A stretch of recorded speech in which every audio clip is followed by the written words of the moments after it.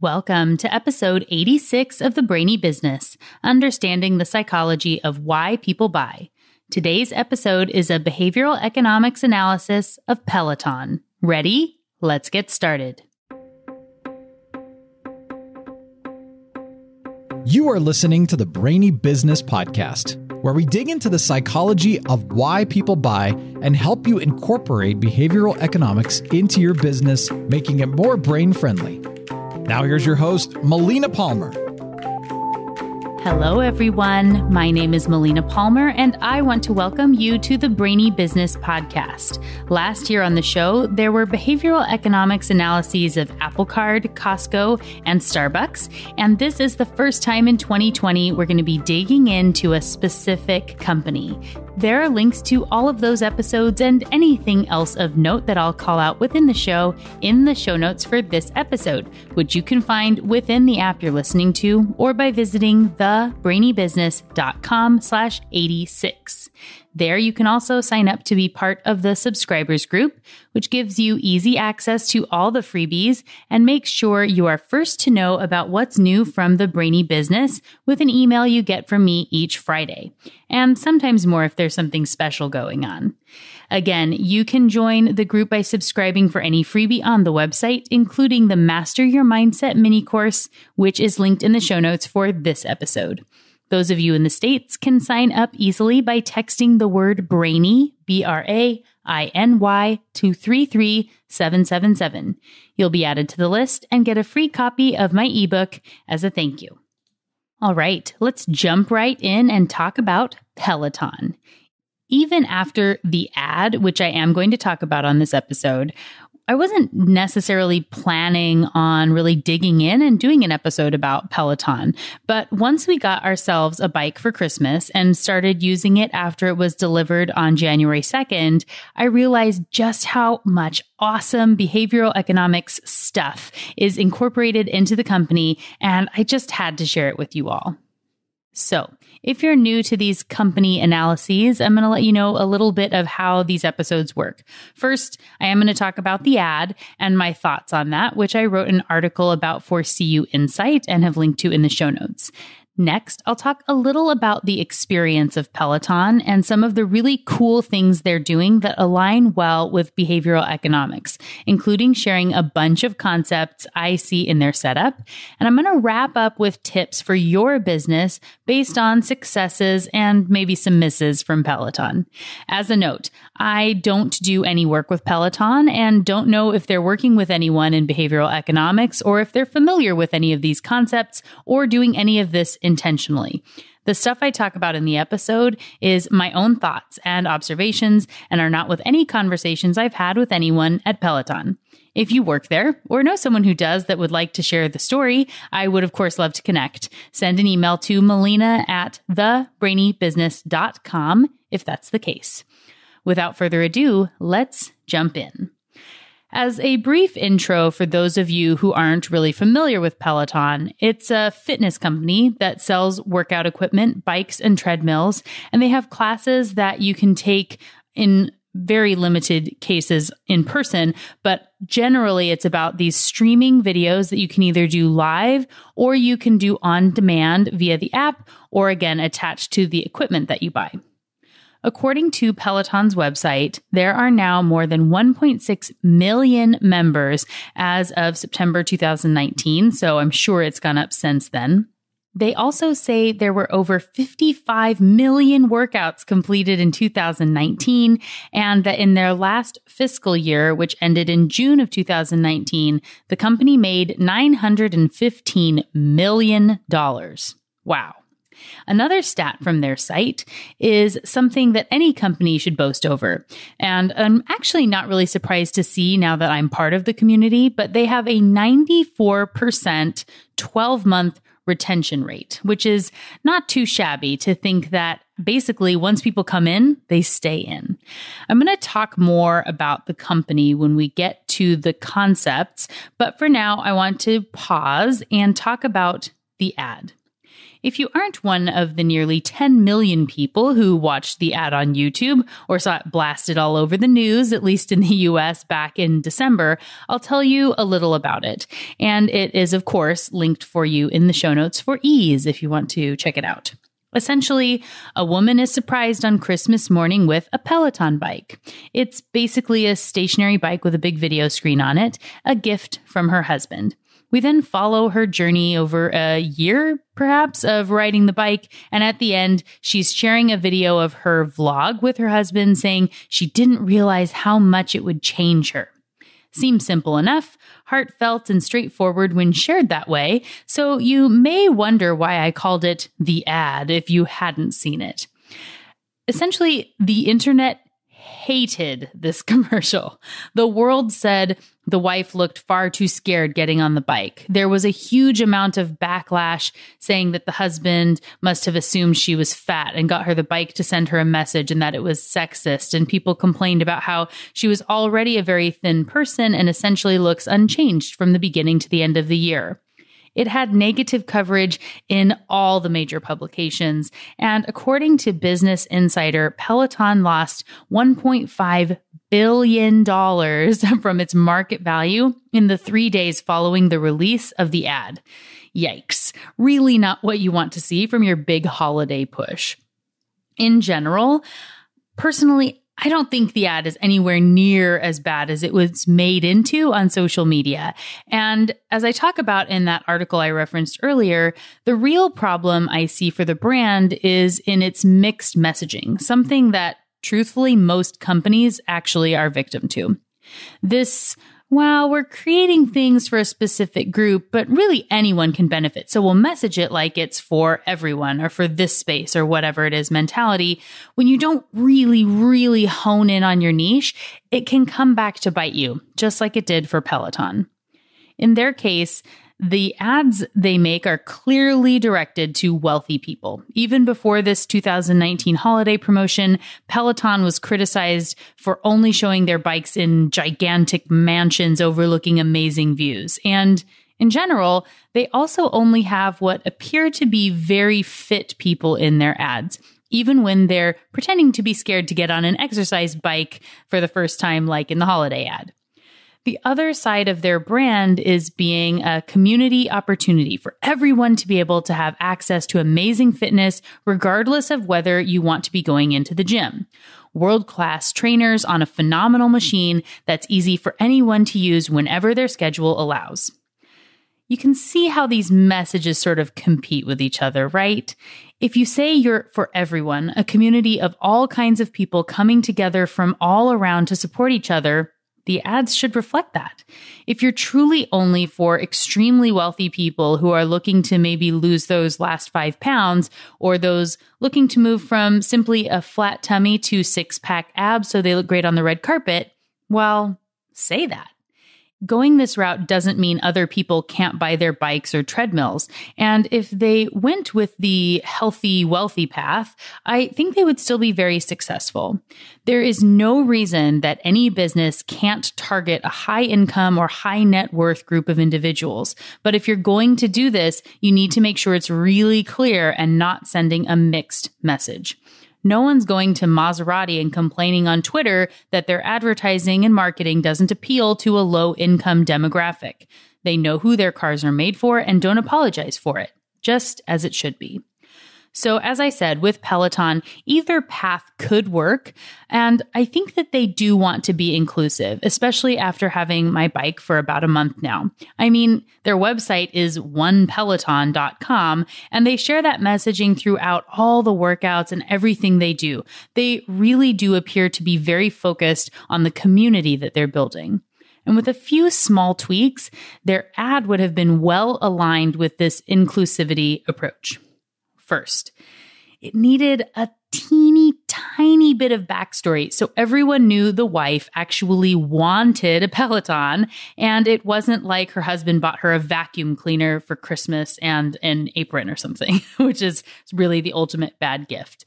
If the commercial would have opened with her leaving a note in his day planner that said, Reminder, buy Susie's Peloton with a winky face emoji, or if there was a text conversation saying, Ugh, stuck at work again, guess I can't meet you at spin after all, sad face. Then, when she got the Peloton for Christmas, it would have been really clear that it was what she wanted and not a thinly veiled attempt by her husband to tell her she was fat. For any business, you can't assume everyone who watches your ad or sees your message is coming from the same place as you. You're too deeply ingrained in what you're doing and what you're about, especially with something like health and fitness, where everyone has their own story and history and pain points and quick triggers. It's essentially a minefield that must be very carefully navigated. When you don't provide the proper context in the backstory, people will fill it in with their own story, which could be loaded with those negatives.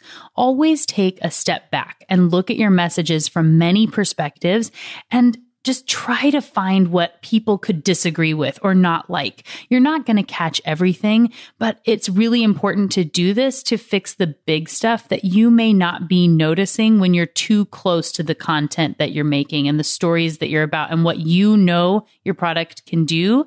People who have never heard of you or that aren't really familiar aren't necessarily going to put everything together in the way that you want them to without the right context. So, beyond that intro piece, I would have also recommended, if Peloton was my client, making a noticeable difference in the protagonist from the beginning to the end of the story. Even though it's only 30 seconds, a lot can happen in that time. It looks like the entire thing, honestly, was filmed in one day with a lot of wardrobe changes. And I'm not going to get into the she started thin controversy because I know everyone has goals they're working toward.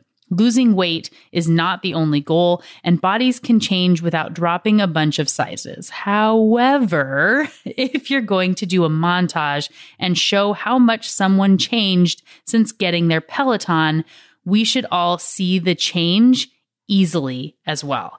It could be showing a before and after of a calf muscle and its definition, or now that you have ab lines, or really anything. It doesn't matter. If you want it to be a mental thing, which is fine as well, because the bikes have mindset and mantras and all that sort of stuff within the app and community.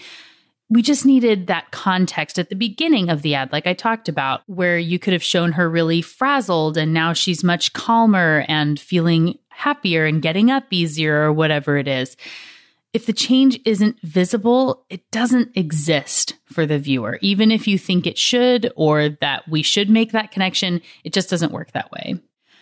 Lastly, if you're going with the inclusive message, it should have closed with a very quick line like one of the many stories of Peloton, which could then trim down to say one Peloton to bring people to the website, or one of the many stories of Peloton, start yours, or are you next, or yours is next, whatever it is.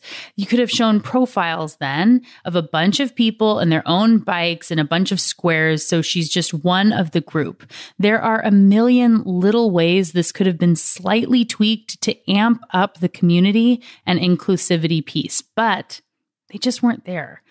I believe focusing on their true purpose and niche would make this very easily achieved. And I truly hope that they do this in the future. I think their ads would be really, really successful if they were to do that. And again, if I were consulting to Peloton, I would recommend they get some actual people who get the bike or treadmill and follow them through their journey. Get them to agree to a setup where they're being filmed or need to take pictures or do their own vlog and that Peloton gets the rights to share the transformations at the end of the year or maybe six months. And the person with the best video gets a Peloton treadmill, which is over a $4,000 value, or that they get their Peloton bike for free if they agree to be part of this experiment.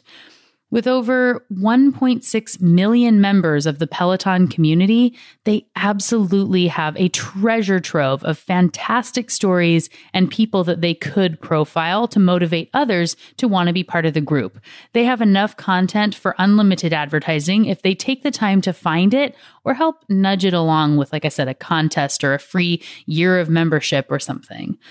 I'm going to do a full wrap up of all the advice for your business at the end of the episode. But before we move on from the ad to the overarching experience of Peloton and those concepts, I'm going to do a quick wrap up here of the things to note for your own advertising and branding. First, understand your market niche and who you're speaking to. When this is gray, you can get into trouble. Bring people along with you in your story. You can't assume they know the right context, and it's important to share key elements to ensure the right message is being conveyed so people aren't laying their own insecurities or issues or triggers on top of something, especially when you're trying to help people to make a change that is notoriously difficult. Lastly, don't overlook your community when you're creating ads and messages. You have a huge amount of people who love you and your brand and would be honored to be featured while singing your praises. Ask for stories and you'll probably be surprised at what you get. Now, let's move beyond the ad and into the company itself and all those great concepts of behavioral economics. One thing I will say is even though it's estimated that Peloton lost those $1.5 billion in value in those days following the ad, it doesn't mean that that is going to last forever. Markets shift all the time, and that is a loss in value, but it doesn't mean it's permanent. It isn't like they had, as far as I know, people demanding refunds on their bikes and boycotting the brand after that commercial came out customers didn't have the same issue, as far as I know. So these losses can be made up over time. And I would be willing to bet that the company will find, while it wasn't the greatest way to go viral, that it made a lot of people who had never heard of Peloton aware of the brand and the problem it was solving. Maybe a problem they didn't even realize they had. This is the availability bias. When you start to see something everywhere, it gets more weight in the brain. That was episode 15 of the podcast, and it is linked for you in the show notes, which are again at thebrainybusiness.com slash 86. So, seeing Peloton in the news and talked about at parties means more focus on the company. People who otherwise wouldn't have been driven to look into Peloton are now trying to find out what they're all about and what the deal is with the ad. So I'm guessing that over time, this will actually have been a good thing for awareness of the company. But again, it's not a way that really anyone would recommend getting that visibility. It's really too risky. So don't do something uh, controversial in hopes that it might come back and be positive. It's just really difficult to quantify things like that. And they definitely could just go wrong and be bad. So, for most people who started looking at Peloton over the holidays, maybe even bought one, they wouldn't likely say that they were introduced to the bikes or got the idea from the bad ad being blasted on social media. It doesn't really jive with how most people want to identify with their choices, and the brain will likely come up with another story that feels better like one of my friends got one and we were interested, or I'd been looking for an alternative to going to the gym or spin class and started doing research. Those things might also be true, but the availability bias and the ad being everywhere pushed Peloton through the subconscious filter and got you to consider it and look for more information. I can concretely say for us, I definitely believe the ad played a factor in our choice to get a Peloton we started talking about it. And then my husband started doing some research, his favorite thing. And we realized all the great benefits and discovered it was a fit for us. But I don't think we would have gotten to that point without the ad as a controversial awareness prompt. Definitely not, at least at the time that we ended up getting it. Do remember, though, they were already a well established company before the ad with 1.6 million members and had gone public in September. One of the reasons it was easy to join Peloton was in the framing of their offer. Their equipment is admittedly expensive. A bike is over $2,000. And as I already said, the treadmill is over $4,000 to buy. With that offer, it's difficult to get people to try one out because it's such a big investment. However, they have a 30 day trial with a money back guarantee. I've talked on the show about how awesomely effective money back guarantees are in getting people over the hurdle of that initial purchase. And they have a 0% financing option where you can pay for the equipment for three years. As you heard me say earlier, they have a 94% stay rate from people at the 12 month mark. So their main hurdle is really to get that bike or treadmill into your home. Once you have it and use it, they're pretty confident you're going to stick with it. You may not use it as much as you intended because of optimism bias, but that isn't really the issue for the company. They want people to use the product, sure, but buying it, getting it into more homes is important. They have made it so incredibly easy to buy. They have free delivery and setup in your house and easy payments and the money back guarantee. The question becomes why wouldn't I try it? Whether you pay upfront or in payments for your equipment or choose to buy the equipment at all, you can be part of the community by paying a monthly membership fee to access the content. Those who choose not to buy the bike or treadmill can still be a member with the app for only $12.99 per month. This gives them access to all the classes on demand and are for one person each. So if my husband and I each wanted to join, we would each pay $12.99. When you get the equipment, so when you buy the bike, you can have unlimited accounts for your household and you are required to get a $39 per month membership with the piece of equipment that you get. This then tracks your stats, and they honestly have really amazing technology. I'm going to share images and things on my social media accounts. You can find me everywhere as the Brainy Biz. The thing I really want you to note here is that there isn't a discount for people who bought the bigger thing from Peloton. You get additional benefits, like I said, like unlimited accounts if you buy the bike or the treadmill, but for a single person who gets the bike for themselves, they're paying three times the monthly rate to have access to the same content that they would have had if they were to get it without the bike and just use outdoor running or use a bike at the gym. In episode 84, I talked about stacking and bundling offers, and 77 was focused on raising prices. Those are both linked for you in the show notes. But it's important to know that you don't have to discount when you bundle things together. And Peloton is a really great example of that. People who buy the bike want to use the content and will use it more than other people. You can justify the higher price with the enhanced stats and those unlimited accounts, but these are people who will pay a reasonable price to continue to use their equipment the people only getting the app need a much lower point of entry to get them to try the workouts and see if they might want to move up to get the equipment someday. But I'm guessing they don't have a ton of people that come in and get the bikes or the treadmills in that manner. I think they're more like two different market segments, and that getting the app on its own isn't really the first point of entry that's on your path to getting a bike or a treadmill. I don't know that for sure, but I would guess that people that go into solely using the app probably really stick with it because they don't get to really see and experience the benefits of the machines that they offer. And as I've sort of alluded to here, I'll talk about it more throughout the episode, but the bike itself is amazing. The stats on it are so great and things you can only get when you're truly using their bike that it's totally worth it. So, anyway, uh, the access to content and the free trial and 0% financing are also all examples of reciprocity. Even though you pay each month to have access, it feels like a gift to have all these great instructors and stats and details. Everyone I have talked to agrees the caliber of the classes is just, they're phenomenal.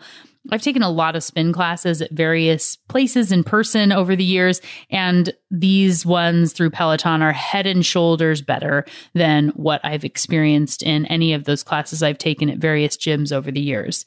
The workouts are intense but fun, and they're just really well done throughout everything that they're offering. And it's great as a user to see that all that content is there. And like I said, it feels like a gift because there's so much but this could be something that would potentially present a really big problem for Peloton if they weren't acutely aware of and focusing on this specific space, which is choice architecture. And I'm specifically talking about structuring complex choices, which was episode 41 of the podcast and is, of course, linked for you in the show notes.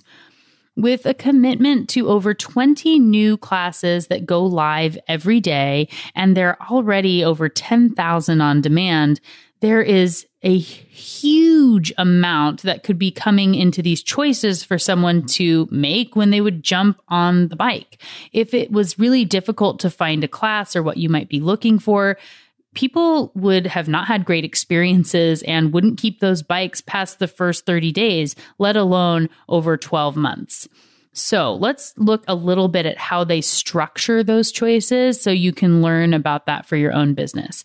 You can easily search and filter for what you're looking for, whether you're on the bike or using one of the app functions. And it's based on what matters to you. You can look at type of class, length of time, instructor, music, genre, when I open the Peloton app, it defaults to the classes page as the first one because that's really what most people are going in to do. You might be looking at your stats or something, but it's an important space to start with, and that's what most people want.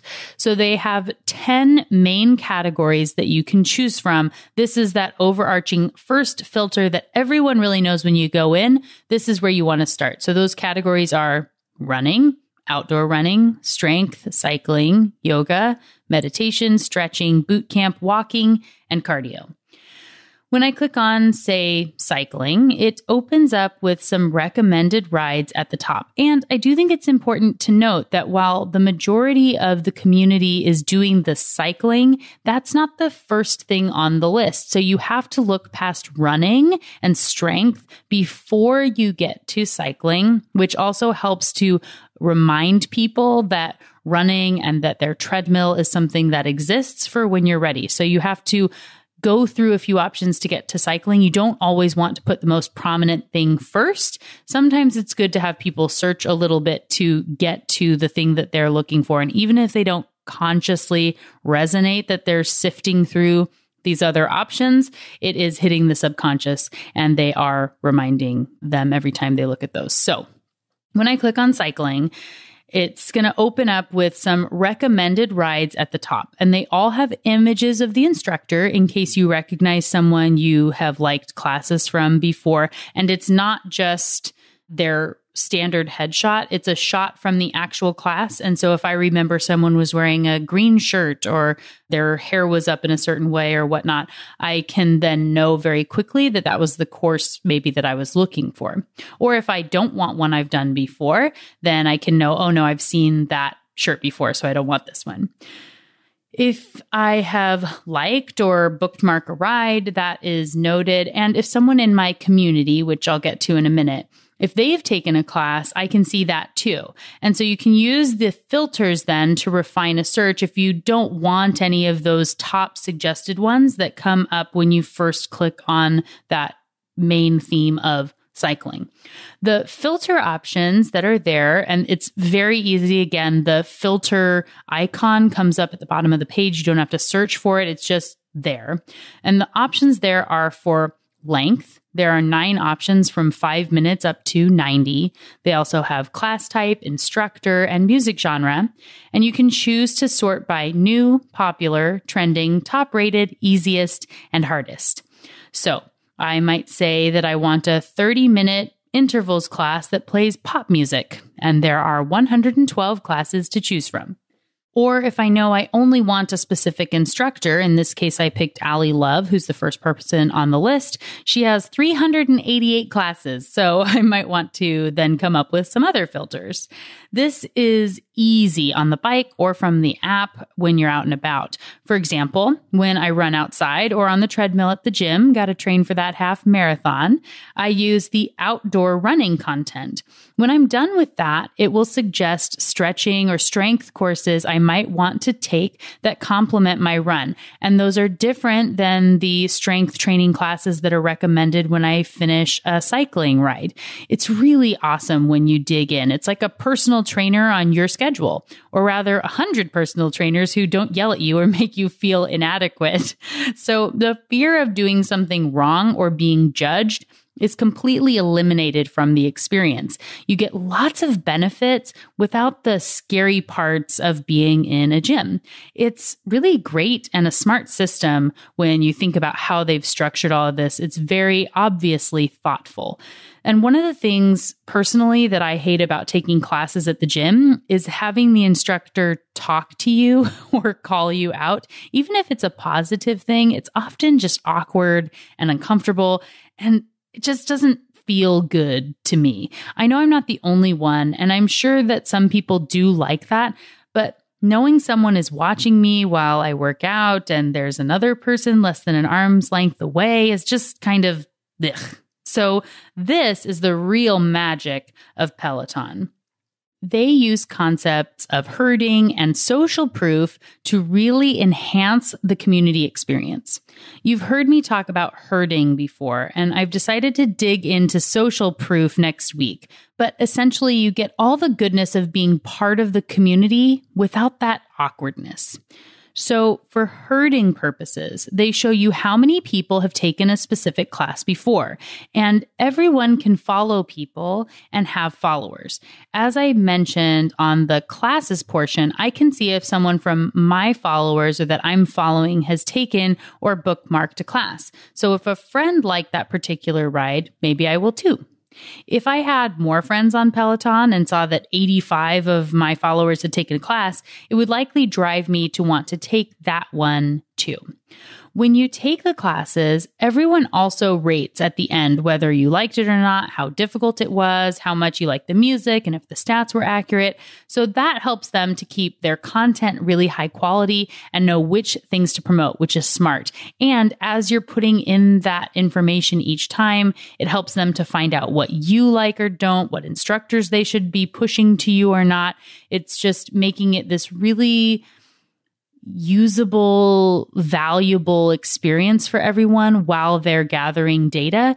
And then I know when I go to take a class and it says the difficulty level is 7.8 out of 10 or 8.5 out of 10, that's not on their own opinion. That's everyone else like me who's taken a class already. And then again, with this herding piece, if there were you know 20,000 people that took a particular class or 5,000 or 1,000 it doesn't really matter but I can see where I come up in the rankings. I'm usually in the bottom third these days but it gives me something to strive for to work on to move my way up in the rankings and maybe get in the top half someday. That's really my goal right now. So they do also a really great job of demystifying the spin experience. I know a lot of people are kind of scared to take a regular spin class because you don't know the terms people are going to use or how you're supposed to do something or what's important, what you should look at. And when you use a traditional spin bike, there are numbers and stats on most of those, but nothing that you really understand other than calories burned. And most of us know that those aren't really accurate for a specific person. They're just a general number. Or you can also look at distance, but that doesn't say too much either. You could do the same distance on one ride and a completely different one, and it doesn't mean you have the same output. The instructors on Peloton walk you through what numbers to focus on. In this case, they have resistance and cadence, and there's an overall output that ranks you on the leaderboard. You can focus on what you want to and ignore what you don't, but it makes it really easy to track progress and see where you're supposed to be on your leg speed and that the resistance shows how you rank against the 20,000 other people that have taken a particular class. As I said, this is a framing benefit. They show you what matters and tell you what to focus on, and it isn't calories or distance but by framing for you what you should be looking at and not clouding up, gunking up the mess with all these other things that you could look at. And their stats are robust. There's a lot if you want to dig in and see everything else. But in the moment, while you're taking the class, what you should focus on are these two numbers. And the instructors are telling you where you should be. When you're in the range, like if your resistance is supposed to be between 45 and 55, it glows orange instead of being black and white. And it just really makes it easy as you're going to know if you're where you should be and if you're moving up on where you were before. And it makes a really big difference by not putting too much in front of you. So again, framing and they know what matters and they've made it so it's really, really easy to track that. And they put them front and center for everyone who has one of their pieces of equipment. They obviously can't track this if you're running outside or if you're doing strength training or something else. It's only if you're using their bike or their treadmill. But again, this is the real benefit as to why you feel good about that investment, all these extra stats that you get and that you are paying for when you are part of that community. Now, getting back to social proof, which, like I've already said, I'm going to talk about more next week, it's kind of like herding in that it shows other people are there and liking the course. The problem with old workout videos with a dozen people in matching spandex outfits is those are just a few random people. You have no idea about everyone else who bought the video, so it feels very isolated. With Peloton, they do a fantastic job of incorporating social proof and making you feel like part of a gigantic community. In every workout, they're constantly calling out names or profiles of people who are hitting milestones live in the workout. So, one quick side note as I said earlier, there are 20 or more workouts that happen live every day. Anyone can attend the class live virtually and an instructor may mention you. They can't see you or anything. You're just the first to take the class with the instructor as they do it.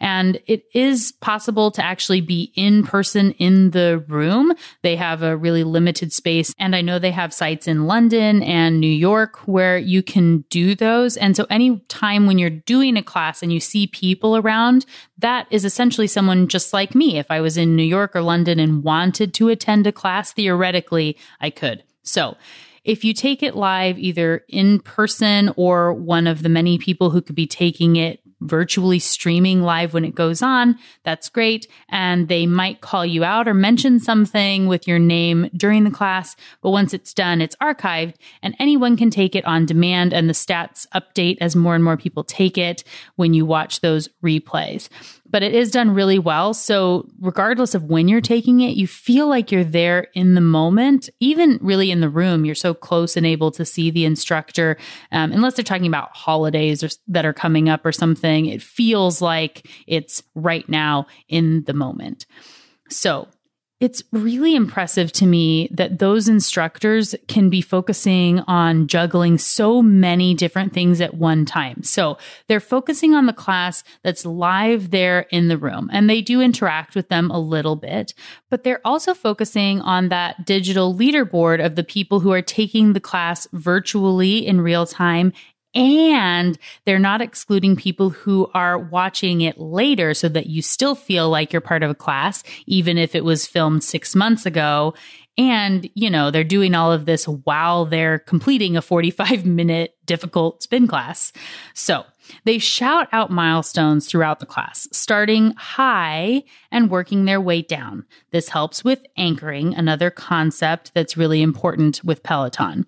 So they'll say things like, Ann Smith, congrats on your 1200th ride today. And then work down to people hitting their 500th, 400th, 250th, 100th, or 50th ride. They are announcing those milestones. And if you're a beginner, you can't help but think, wow, people really love and stick with this. I wonder when I'll hit a milestone. There are also badges and achievements as you hit milestones like 10 rides or things like that. And it becomes part of your identity to be one Peloton something the instructors mention throughout the classes. And they also focus on mindset and pushing through mental blocks. All the instructors have a different vibe, and I'm confident anyone could find at least one instructor whose style resonates with their own. So these anchors are set in tandem with that social proof by announcing them live in class for those who are hitting milestones. And you can also give out virtual high fives during the class and things like that. But one of the really amazing things they do to make this resonate, something that admittedly I might not like if it was a real in person class. But one of the things they do is when they give you a shout out, they say, I see you. So instead of just saying, be thoughtful, which you know is my screen name. so instead of saying, be thoughtful, congrats on 10 rides today, and leaving it at that. They say, be thoughtful. Congrats on 10 rides today. I see you. Susie, Annie, Steve, congrats on 50 rides. I see you. This is so subtle. And I don't know that everyone picks up on it, but this is absolutely, it has to be intentional and it is very, very smart even if they aren't talking to me directly, and they definitely aren't because I haven't taken a live class yet, it feels like they are and makes it all that more real. I've heard them say things like, Ride or die. Congrats on 100 rides today. I see you there in Maine. Didn't realize you were in Maine until just now. See you in class all the time. You're killing it today. Let's do this. Little tidbits that make it all feel like a big family. And this I see you phrasing is very important for that social proof. It goes to show you how one small, smart phrase can have a huge impact. Another way they use anchoring is in tandem with commitments and pre commitments, which help form good habits. There are goals to hit a certain number of rides in the year or month and challenges that keep you moving in the community. Trackers showing your streak of weeks that you've completed a class, all sorts of things that really keep you motivated, as well as regular emails that you might get for daily or weekly to let you know what classes are coming up or what you did over the last month and how that was better than the month before. They also have a challenge called the annual with a minimum goal to hit 2000 minutes, which can be combined across anything from meditation to cardio. 2000 is just the first tier and it works up to 5000 minutes in the year to get the gold badge. And I know that now so far I've done 359 minutes um, within the Peloton app and all various things from stretching to running and riding on the bike.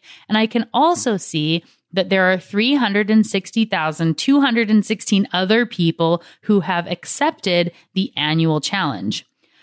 I don't know that I would have shot for 2,000 or 5,000 minutes, but I'm motivated to hit them now. And there's also a challenge to run 10 miles in February, which is the minimum and gold status if you run 40 miles. And that one has nearly 35,000 participants. Plus, they have a general activity to work out at least five days a month with gold status at 15 days.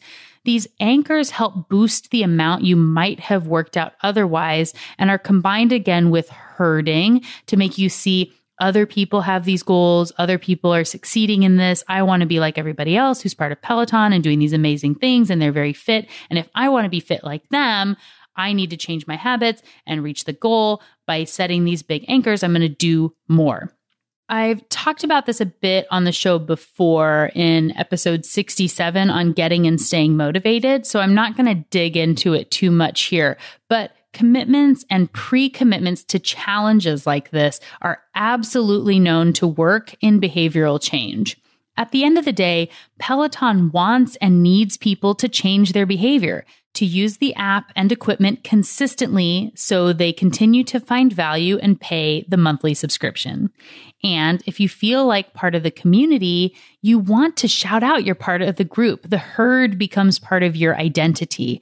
So they also have workout gear you can buy with the Peloton name and logo on it hats, clothes, water bottles. We actually got a free hat and water bottle when we bought our bike, which triggers reciprocity tiny little items that cost them, you know, pennies compared to what we're spending on the bike and things like that. And this also then becomes a form of self herding, something I've talked about on the show before. It makes me feel like I am the type of person who wears Peloton gear or shares it on a water bottle. So it's easier to buy more things with the logo on them later on. If I didn't have anything with a Peloton logo, I might feel a little awkward about it. But let's say I got my hat and I was wearing it out, or I was using my water bottle and people are commenting, Hey, I'm part of Peloton too. It might make me feel good. And like, I want to get more items with the Peloton logo, something I wouldn't experience if they didn't gift me those free items. And you also get to see the outfits on a lot of the instructors who wear them while teaching the classes. So for 30 or 45 minutes while you're watching somebody during a ride, I might be thinking, Hey, that's cute. Or I like that over and over again. And then I want to take a look at those when they pop up in an email I get or if I'm looking in the app all these little nudges make a big difference to help diversify the income streams for the company and just making it reinforce this community vibe. And it helps to show why Peloton is so smart and that they're making mostly good choices. I do hope that they will show off more of the benefits in their future ad campaigns and really play on that one Peloton line and just how amazing their technology really is. After buying ours, it's been amazing to learn how many people I know who already have one or got one at the new year like we did. And everyone I have talked to absolutely loves their Peloton and can't stop talking about how great it is. They've built a great company that their members love to be part of. And that's worth showing in their advertising to encourage more people to join the One Peloton movement. If you have a Peloton and want to connect there, please follow me. As I said, my name is Be Thoughtful, all as one word, so it shouldn't be too hard to find me. I look forward to seeing you there. And before closing out the episode, as promised, I want to do a recap of the key items for you to learn from Peloton to use in your own business. First is what I talked about in the notorious ad know who you're speaking to and make sure your branding is aligned with that target market. Narrowing your focus is good and will help you better align with your right people. Also, know that context is important in any story you're trying to tell. You can't assume people know the story or have the same background as you have when you came up with a particular story. Take the time to understand which details are important and show them in the right order to support your brand's message especially if you're in a space where people have really quick triggers and hot buttons like weight loss and health.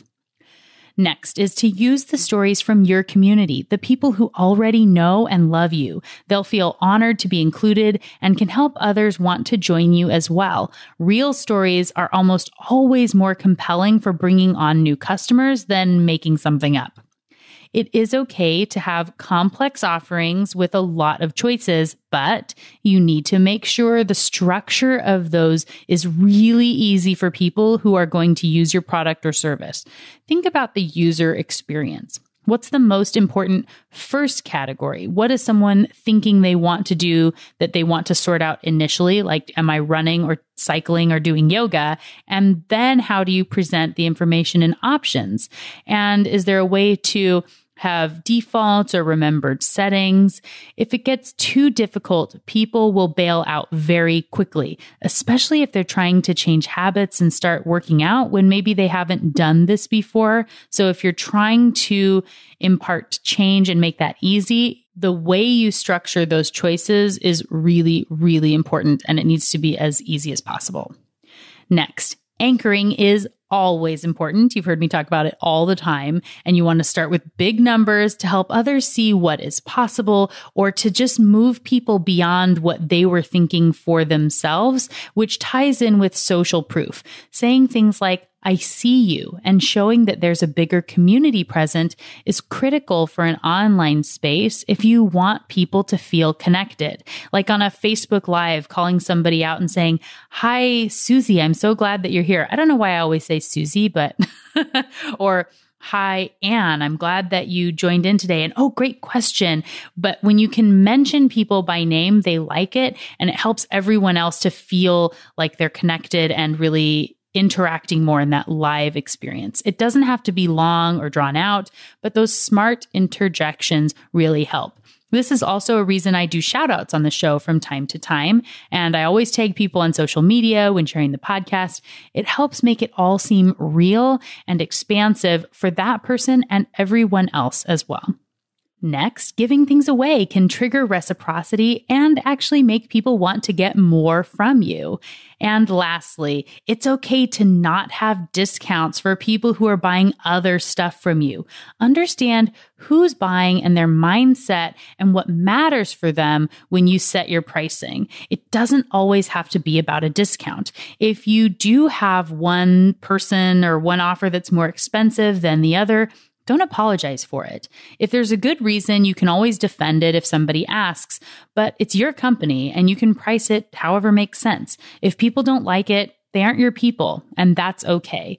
Not every business is for every person. And you know, this really brings it full circle, but in everything from pricing to ads, know your people and speak to them. When you're focused, it makes it easier for your tribe to connect with you and refer others to join that group as well.